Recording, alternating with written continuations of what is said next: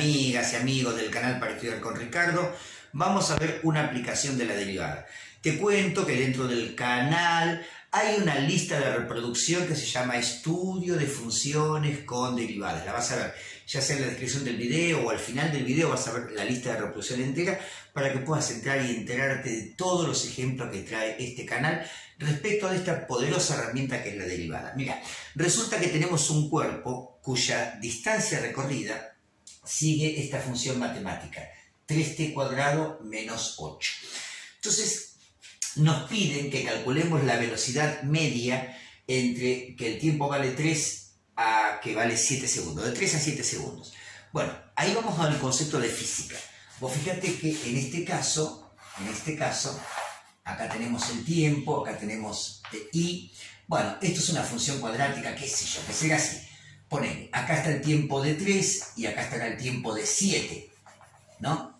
Eh, claro, la velocidad media, ¿qué es en física? Mira, yo tengo, estoy en esta posición, a los 3 segundos termino en esta posición, a los 7 segundos. Si yo este camino lo, recorro como si fuese una línea recta, como si fuese una línea recta, obtengo la velocidad media. Lo que pasa es que eh, la velocidad media solo es comparable o, o, es la velocidad si el camino recorrido es rectilíneo. Este no lo es.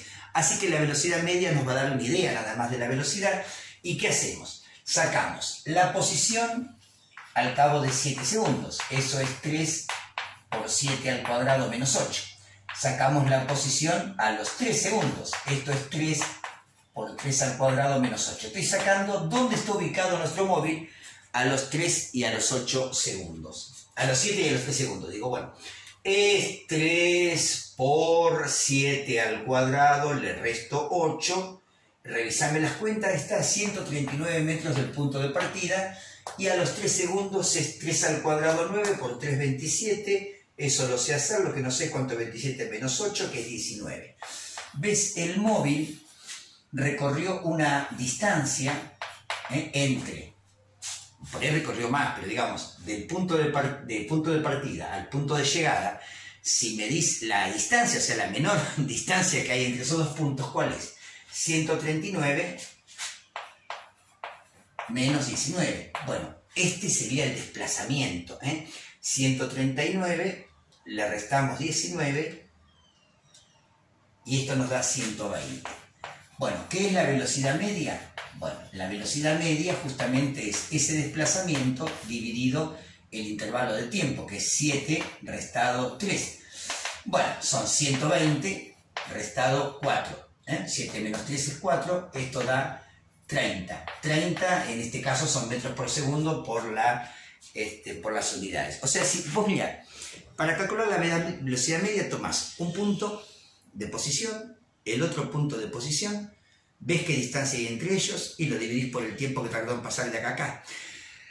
Esto no tiene en cuenta cómo fue el camino recorrido, y acá el camino recorrido no fue, a ver, no, fue este, recorrido en forma rectilínea, sino siguiendo una función cuadrática.